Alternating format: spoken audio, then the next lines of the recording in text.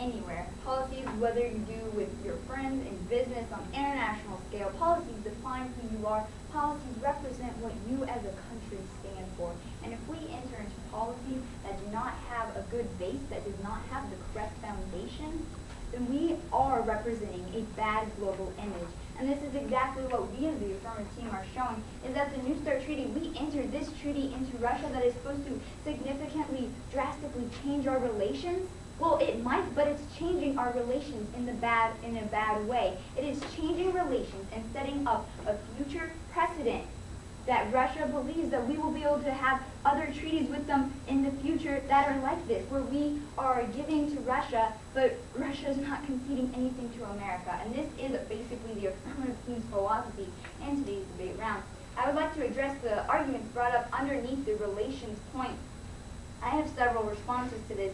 My first is that the START Treaty was passed for gains by the administration. They mainly did pass it for relational gains. And I have shown that this should not be our basis for passing a treaty. If this is the only reason that our administration mainly did pass this, this is not correct. And we should take a step back and we should redirect this and pass a treaty with Russia that will give us relational relational gains in the correct manner. My second uh, response to this is that our, our policies are, are, we are defined by our policies and that the affirmative team has not shown that by backing out of the New START treaty that relations will be hurt. They have not brought up evidence that by pulling out of New START we will be hurt. They have not brought up specific evidence to this point whatsoever. I'd like to group the points of extraordinary event and the ABM treaty together.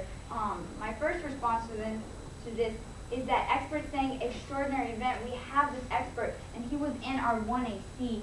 The gentleman that I quoted this piece of evidence was from December 27th of 2010. The treaty was ratified on December 22nd. This was after the START treaty was already ratified, and he said, and quote, surely these are extraordinary events that should prompt a recalculation of whether now is the time to allow Russia to hamstring missile defense, end quote. He was referring back to North Korea and Iran, their advancement of missiles and the uranium enrichment facilities.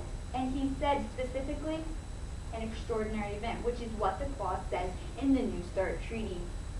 My second response to this is that uh, we have a historical precedent that the ABM treaty that we pulled out of, we actually had no reason for pulling out of. Here in the START treaty, we present you with a reason. We have an expert giving this reason. We as the affirmative team are not coming up to you and saying this is the reason that we are pulling out of this treaty. No, we have someone saying this and we are backing them up as well. This piece of evidence is from Dr. Robert N. Brown in 2002. This is referring to the ABM treaty. There have been no such extraordinary events in diplomatic notes to Russia, Belarus, Pakistan, and Ukraine announcing its intentions to withdraw the U.S. made vague references to states and non-state entities seeking to acquire weapons of mass destruction. It also noted that a number of unnamed states are developing ballistic missiles.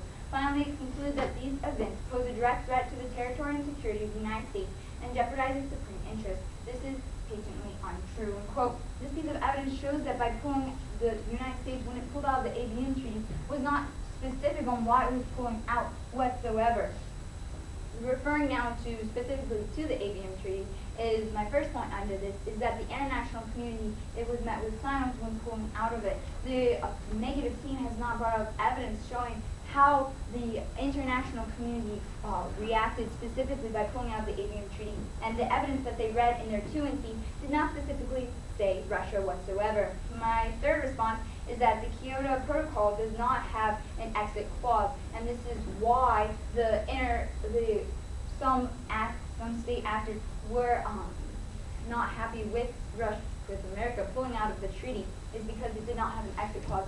The New START treaty does have an exit clause, and both America and Russia agreed on this, and they signed this treaty.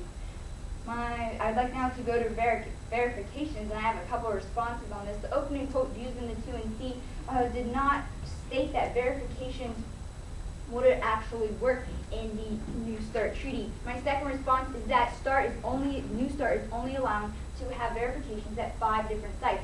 It says that sites anywhere that Russia chooses. We may not know that they're building new facilities. We may not be able to go into these new facilities. Addressing uh, the, this, DAs that this was policies define who we are.